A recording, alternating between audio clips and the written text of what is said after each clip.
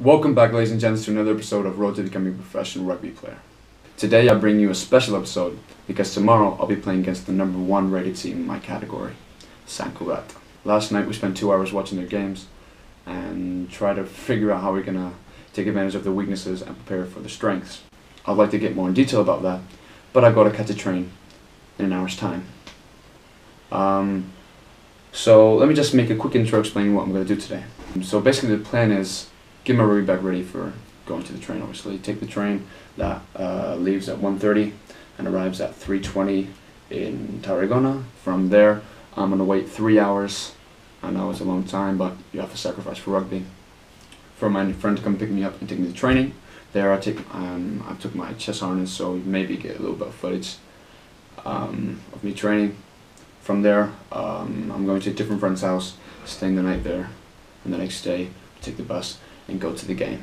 I'm hyped. I really want to play because this could be the last game because there's going to be lockdown soon. So I'm going to get myself uh, prepared and mentally ready for what lies ahead.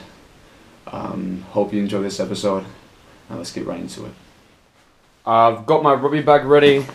Um, I'm currently wearing my raincoat because it's raining outside, so I don't think I'll film me walking to the train station for obvious reasons. Um, so next time you'll see me, we'll be in the train. Had a great lunch. Um, see you then. Just arrived at the train station. Got here 10 minutes early because you never really want to be late. So I'm just going to wait 10 minutes and then um, head out to Tarragona. It's raining, it's pouring, but I'm still motivated as ever. Um, let's wait and hit the train. Not hit the train. Get in the train. Just got on the train. Um, it's a rainy day. It's not the best. Um, so basically what I'm going to do now is relax, concentrate what I've got to do today and tomorrow and get into my head what's my objective and live in my fantasy world while I'm on this train basically. Um, I feel a bit nervous at the moment because I know they're a great side. Uh, those videos I've been uploading, the last video uploading standard rugby wasn't the best, but this is going to be, if I not say two times, three times better. Um, so yeah, I'm really excited, nervous, but excited to get this done. So I'm just gonna uh, sit back, relax, and hopefully see you in Tarragona if nothing bad happens. Just arrived at the train station. Uh, it's raining outside, so I doubt I'm to be able to go anywhere and play basketball. So, just got a three hour wait in this train station. It's not the worst, but it's what you have to do. I guess see you in three hours. I've been waiting for about an hour now. I'm getting a little bit peckish. So I'm gonna go to the local supermarket to get some sell some dry fruit, dry fruit and some nuts. Uh, and then head back, maybe watch a movie. Also go and see if anybody playing basketball because that's also a good option. So let's have a look. In the end I got these, mix of fruit and mix of dry fruits and nuts.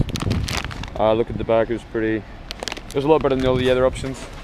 So basically I'm gonna sit down and watch a movie in the train station with the free Wi-Fi, as you do, and wait until six o'clock. It's an hour down, we've got two more hours to go. Now and again I'll go out, see if anybody's playing basketball, see if I can join in. But besides from that, I'm just gonna try to have the best time I can. I was tired of waiting at the train station. I've got about 50 minutes left. Um, so I came to the basketball court, to see if anybody's here. Uh, there's no one here. And for good reason, it was raining, so all the water's on the floor. What I did do is I uh, left a little surprise for my little brother. If you ever hear, bro, it's for you. In Tarragona. Train station next to it, the basketball court, that's after. It's a little Easter egg. I put love you. And then Harry. So, doesn't matter if you're little, big, if you're watching this video, you know, that's there for you.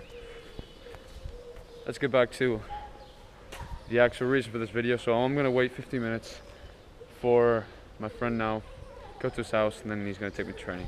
So I'm just gonna wait around here to maybe eat some nuts and just wait best things happen to people who wait. It's 5.55. It's finally time to head to training. Three hours don't go by quick, especially when you want to get somewhere. So, let's head out. Lo más bajo posible, tío. Reventar tobillos, literal. Sí, tío. No, no, y, y con la bola, vamos.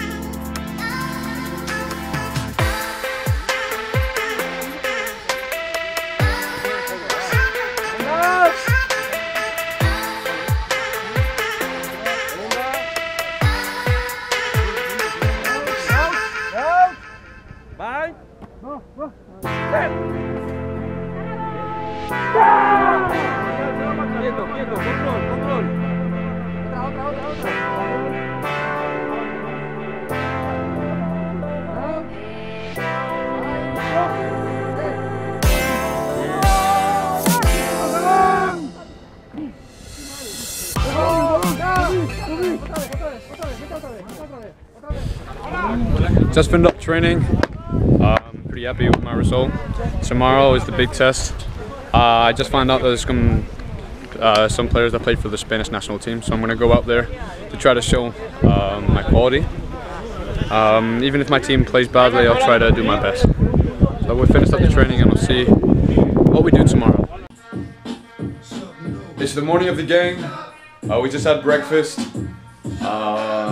Now we're just having an apple and we're gonna go out and to the bus station that's five minute walk away. Listen to DMX because last day we got the bad news that he died. Um, it's unfortunate but we're playing this tribute to him this morning. So we're just gonna get our bags ready and out to the game. Um, I'm motivated as ever, so let's get to it. Are you motivated? Yeah, boy.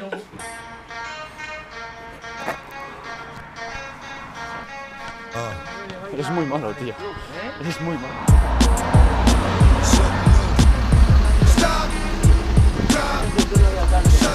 Colócate en el momento que la pelota.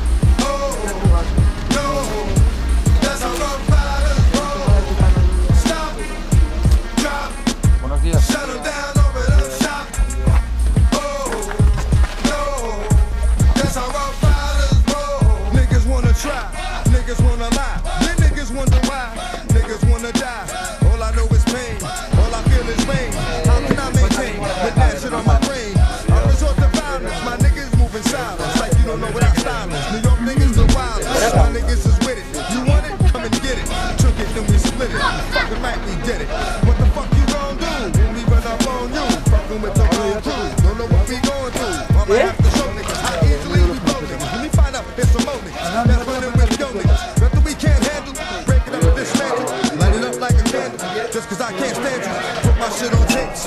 You. Think you weight, then you haven't met the apes. And now it's time to start the game. As you can see, I come up my line pretty quickly, and I badly tackle whatever number that was. Why did I do that? Well, I didn't look at his torso, and the tackle was pretty horrendous. Um, I've got a thing, I've got a big announcement to say after the video, obviously, but at the moment I'll do my uh, normal match analysis of me, because if I did my whole team, this would last forever. Now we shoot the ball out. Obviously, I'm not in the line, so I can't decide how good the ball is out. What I can do is I pressure the ball, and I don't pressure the ball in this instance. I go to my line, or at least try to go to my line, and look at the fence. The fence passes the ball. I tackle his number three to the ground. Pretty good tackle. Not really much I can say there. And they send the line. This was number eight that plays for Spain, by the way. Um, plays for Sant at Barcelona. Um, here I tackle him to the ground and get up slowly, but I do get up and I try to go. And who am I? I think I just follow the line, right? And you see, there's big holes in the fence. Why you ask me that? Well, the answer is the caliber of our team isn't the best, honestly. And I've got a bit, and I'll talk more about it later. But at the moment, I'm just gonna do my analysis. Tackle this guy wasn't the best tackle in the world, wasn't the worst tackle in the world. Got him to the ground. Anything important. Number eight from Spain again. As you see, I'm gonna have a. The editing of this isn't my fault. I just grabbed the video from Sant Cugat and uploaded it. Did cut a little bit out, um, so you can see me. But yeah, uh, this is a mall here. You see, I'm in it. Um, we win the ball eventually somehow. Um, didn't get to see that how that happened, and I pressure tried to win some space, but there was no teammates behind me, and obviously I injured badly. So uh, I think we lose here. The number eight from Spain again, a tackle. He loses the ball in the tackle, and he goes back. Uh, number two also plays for Spain on the blue team, Sant Cugat, but you don't really see much of him. That's in there. We get a penalty, we shoot it out, and I think this turns into a scrum. Now, I can only go as high as my second rowers allow me to, so you'll see that I'm pretty high in the scrum, and they are too. I can't do anything about that. Um, but that is what it is. Here's a line out. Didn't turn out good at all. They did a pretty substantial tackle to our number 10, I think it was, and I think we end up continuing. Um, here, this is how the video went up, and I tackled the guy to the floor. Not really much to see here. Um, I ran back because there's people missing, and they dropped the ball forward, so it's our ball now. Um, apparently, it's not our ball, and they've got a penalty. Must have had advantage. This is the first time I see the video, by the way, so anything. Okay, we obviously lose the line out here. Um, we go to the scrum and see what happens. I should have been there. I know I should have been there, but at this point, they've already scored about three tries, four tries, and I I don't know what's happening. Honestly, our defense was very disorganized. Um, here we are. We continue. Uh, shoot the ball, and this is where my game ended. Now you'll ask me why my game ended here. Well, I've got a big thing here. Um, as soon as I high tackled this guy, obviously you see it was a yellow card because um, I high tackle. You can't tackle anybody in the air. Um, when I got to the ground, I put my hands in the air, saying sorry, try to get the lightest load. The yellow card, obviously, could be red. And the guy punches me two times in the nose and kicks me once. I bleed on the floor. Uh, eventually, had a broken nose and couldn't play the rest of the game. After the game, went to the hospital, and I will be taking um, a video. I'll be making a video about my surgery because I did have surgery after I broke my nose. Um, so yeah, that was pretty pretty heavy, um, honestly. But now let's go to the big announcement on what I think about this game. Obviously, uh, Sant Cugat, I didn't. Our club didn't film this video, so a lot of things that I did, um, like tackles and advancing the ball, weren't filmed because um, they mostly want to focus on their team. And the video that I did grab um, from their channel was 13 minutes long. So about 40 minutes, I could only use 13 Uh, so most of my, my, my tackles and good tackles, dominant tackles, weren't in this video uh, for that reason. I also want to say that this caliber of rugby I'm playing now isn't enough, even though I'm playing against people that play for the national team, uh, that I don't find it hard to believe because their number eight wasn't uh, the best in the world and number two wasn't that good either. Um, I need to be playing a higher caliber rugby. So what am I decided? I've decided to play, start playing and train with the senior team. I wanted to be doing this before, but I couldn't because no one allowed me to because I was too young. I'm still too young, 17 years old. But I've talked to my trainers and saying I, I need to be having a higher caliber of rugby. I need to be because when I go to university, I need to be um, on the same level as the other players or a little bit less. But I still need to have some experience playing against players that are very high um, skill wise. So I'll be training with the national. I'll be training with the senior team of Tarragona. They're 30, 25 year olds. They're in the division of honor Catalunya. Um, that's the highest honor you can. It's the highest division you can play in Catalunya, and that's where I'm going to be training for the next um, until I leave the university. I'll be going to Harper University there. Um, hopefully, I'll be continuing this channel until I reach there. But that's the big announcement. Um, so yeah, I broke my nose. Um, I did a couple dominant tackles that you didn't see in the video. Um, oh, also another thing, I'll probably put this in the editing. I don't know how I'm going to edit this whole thing at the end. But the trainer did come up to me at the end of the game. I'll probably at the end of the game, this uh, the second, this first half, I was out on the bench, and he started talking to me about. Um, I was obviously the best player on my my team, and started talking about why I played for them, why I'm not playing for Barcelona, and why, or what my future could be, because he saw that was pr- pretty good compared to the other people, and compared to the people that played for the Spanish national team. I said before, I was probably the same or a bit better caliber than them. Um, I say the word caliber a lot because that's what people use when they comment in my videos. Um, so yeah, he, start, he talked to me about um, if I came to Barcelona, I'd be probably playing for um, the Spanish national team and the Catalonia team. I'll probably put that um, into video if I can find it. If they haven't, got rid of it. So that's the end of the video. I'll be uploading a video about how my surgery went. Um, don't worry, it went well. In fact, this is a week after what happened, and they took the tonsils off my nose, and it's okay. Um, still hurts. Don't get that much sleep, but we soldier through it like a big boy that I am and continue on. Um, as soon as this is all recuperated and my nose is better, um, I'll be training like a madman to senior rugby and be uploading as many videos as I can uh, to do with my schedule and um, training progress. So thank you very much for watching this video and please hit like and subscribe if you want. I sound like a professional YouTuber, but that's the end of this video. Thank you very much and have a great day.